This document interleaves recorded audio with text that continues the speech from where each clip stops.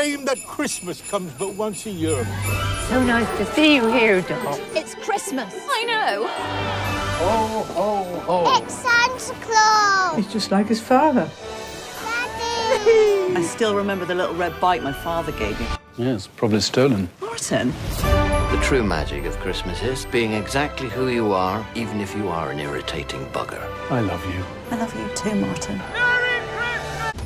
Doc Martin Christmas Special. Christmas Day at 5 past 9 on ITV1 and ITVX.